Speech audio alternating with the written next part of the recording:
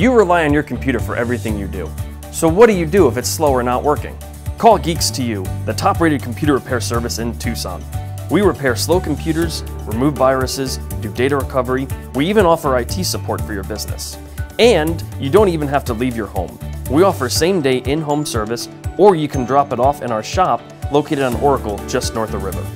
Get your computer running smoothly today. Call Geeks 2 You at 520 222 8000.